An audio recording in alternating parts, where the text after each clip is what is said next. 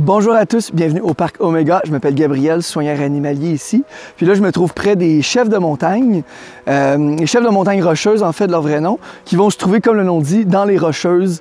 Donc seulement au Canada et aux États-Unis, dans l'Ouest. On les retrouve nulle part ailleurs, c'est très spécifique.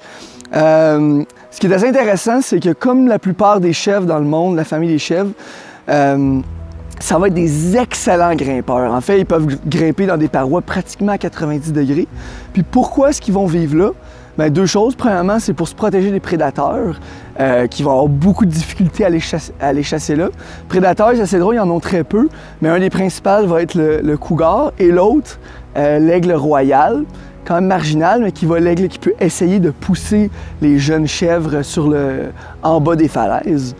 L'autre chose qui est bien pour eux dans, euh, ces parois-là, étant donné qu'il n'y a pas beaucoup d'autres herbivores comme les orignaux, les wapitis qui peuvent s'y rendre, bien, ils vont avoir accès à l'alimentation qui est là.